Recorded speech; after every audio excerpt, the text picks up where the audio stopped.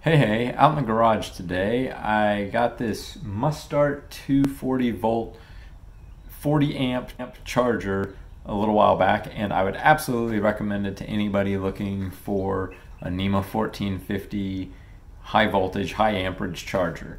But let me go into a more detailed review right now. So the charger is a 40 amp NEMA 1450 240 volt charger which means it plugs into the NEMA 1450 outlet that I installed in my garage recently and just plugs right in using the plug that it has.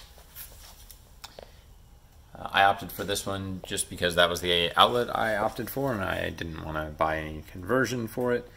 But it's real nice. It's got this readout that shows you how fast it's charging. Right now it's not charging but I'll go plug it in and show you what that looks like.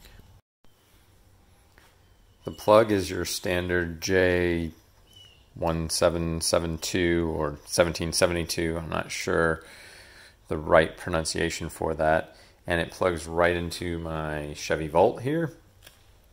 It also comes with this little rubber cover that uh, can be used to cover it up in, I guess, bad weather or while it's being transported to protect the ends.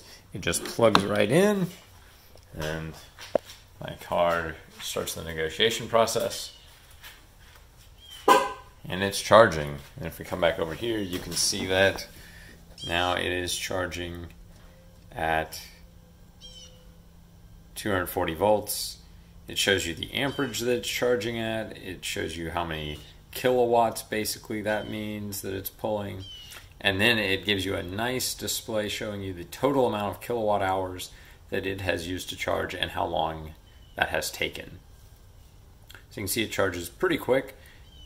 My Volt can only accept uh, three or so kilowatt uh, kilowatts uh, as its rate, so about 13 amps, somewhere around there. So I'm nowhere near using the maximum amount of this charger, so this is a little future proofing for me NEMA 1450 circuit, as it might be clear from the name, can support up to 50 amps.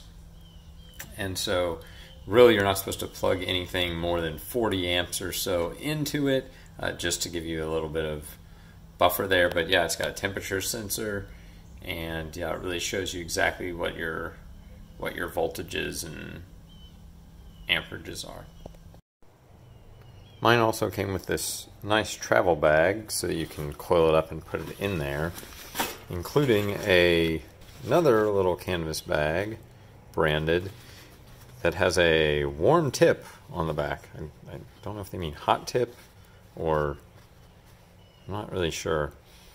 This burlap bag with drawstring is provided to cover the plug from damaging the LCD screen or cracking the plastic on the part that plugs into the car if it were knocked around while in the carrying bag. So it actually came shipped with this over the plug and I saved the little cover that goes over the plug itself because I thought that was just really nice. Please remove protective cover before use. Yeah, I think you pretty much have to. I'm not sure how you'd plug it in with that on there, but I'm sure someone might try. So, comes with that little bag as well. It also comes with a mounting bracket that you can use for, I guess, your main location so that you can plug the 1772 connector into there. Real nice.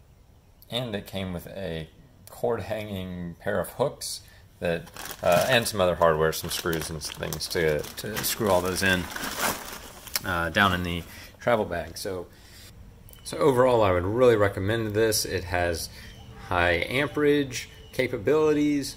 It plugs into a NEMA 1450. There are a few different versions of it, so I think you don't have to get that. Uh, and it comes with uh, portable cases, and it wasn't really that expensive to the surprise of no one. I got off Amazon. I've got a link below, of course, so go on down and check it out. And have a good one.